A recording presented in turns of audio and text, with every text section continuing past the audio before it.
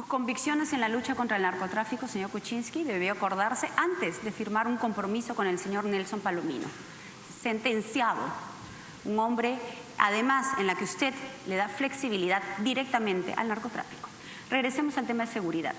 Vamos a acabar, por supuesto, con la impunidad para recuperar la tranquilidad. Para retomar el control de las calles necesitamos más efectivos policiales patrullando cada ciudad. A la Policía Nacional, a través de los años, se le ha venido asignando funciones como el tránsito, vigilancia de servicios públicos y establecimientos penales. Estas nuevas tareas han ido alejando a nuestra policía de las responsabilidades constitucionales para los cuales fue creada, la investigación, prevención e inteligencia nosotros realizaremos una redistribución de estas funciones con la finalidad de concentrar los esfuerzos y recursos en la pronta recuperación del orden interno. Convocaremos a las Fuerzas Armadas para custodiar instituciones públicas. Para la dirección del tránsito convocaremos a los serenos. Reubicaremos a los policías que realizan labores administrativas, liberando así por lo menos a más de 10.000 policías. Sin embargo, eso todavía no es suficiente. Por eso cubriremos el déficit de personal policial con tecnología que nos permita el monitoreo de la ciudad a través de un sistema que integre las fuerzas del Estado. En este esfuerzo trabajaremos junto con los alcaldes.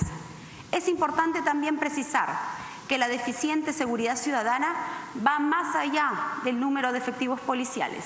Hace falta también articular el trabajo de la policía, Ministerio Público, Poder Judicial y el INPE para poder reducir con eficacia las tasas delictivas. Así evitaremos lo que con indignación hemos visto hace pocos días en nuestra capital, en la que cinco peligrosos marcas fueron liberados por falta de liderazgo del Poder Ejecutivo.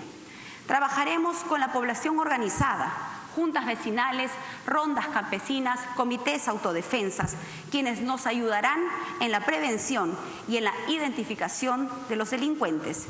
Finalmente, quiero hacer un público reconocimiento a la deuda que tiene la sociedad y el Estado con nuestra Policía Nacional y las Fuerzas Armadas, con esos miles de discapacitados, de huérfanos y de viudas, víctimas de la violencia terrorista.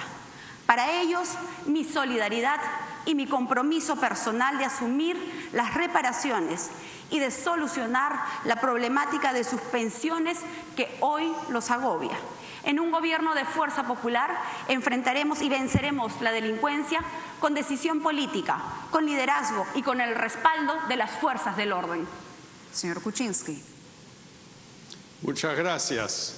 Nosotros no hemos firmado nada con el señor Nelson Palomino, como él mismo lo ha dicho. Hemos simplemente acusado recibo de un documento. Ahora, en el tema de las Fuerzas Armadas y Policiales, yo siempre he apoyado como ministro y ahora en las anteriores campañas y en esta, una mejora de sus remuneraciones y de sus pensiones. Las pensiones que hay hoy no son reajustables. O sea, en 10 años, en 20 años, esas pensiones van a valer muy poco. Es algo que tenemos que cambiar y yo estoy dispuesto a hacerlo sin duda alguna, no me temblará la mano en hacerlo. Pero tenemos que equipar a la Fuerza Armada en el Perú. La Fuerza Armada representa hoy menos del 1% del producto. Con eso no vamos a defender nuestras costas ni nuestras fronteras. Muchas gracias, señora Fujimori. Bueno, es difícil creerle cuando tiene dentro de su equipo a la señora Mercedes Arauz que se negó a hacer esos aumentos. Pero con referencia al tema de seguridad, para nosotros es fundamental incrementar el número de cárceles. Para eso construiremos dos tipos de cárceles. Penales factorías, para los jóvenes que cometen un delito por primera vez. A ellos se les preparará y se pondrán talleres productivos para que puedan reinsertarse realmente a nuestra sociedad y para los delincuentes más peligrosos, cárceles 4.000. Construiremos cinco cárceles arriba de 4.000 metros de altura, lejos de las ciudades, y ahí enviaremos a los delincuentes más peligrosos, a los violadores, a los marcas, a los secuestradores.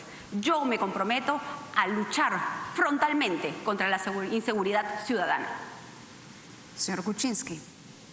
Bueno, es un decir que en Chayapalca se van a desconectar los, los criminales. Yo creo que eso es crueldad. Yo creo que tenemos que tener cárceles fuera de las ciudades, eh, estamos totalmente de acuerdo en eso.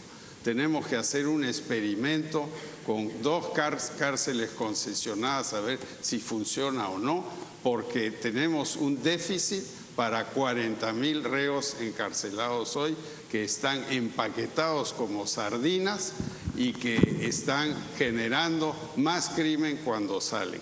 Eso es lo que tenemos que hacer y necesitamos obviamente mejorar nuestro sistema judicial, nuestra fiscalía, nuestro ministerio público para que se ocupe de estas cosas de una manera transparente. Y yo en eso soy absolutamente intransigente, mejorar el Poder Judicial. Señora Fujimori.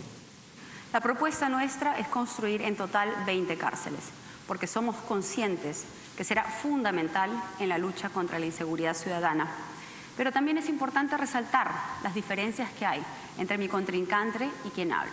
Porque dentro del equipo del señor Kuczynski se encuentra el señor Gino Costa, que durante el gobierno del señor Toledo dieron beneficios penitenciarios para liberar terroristas. Y esto es muy lamentable. Lamentamos que a estos terroristas que tanto daño le han hecho a nuestro país hoy estén libres. En un futuro gobierno de fuerza popular, así como derrotamos al terrorismo, tendremos la capacidad de derrotar a la delincuencia.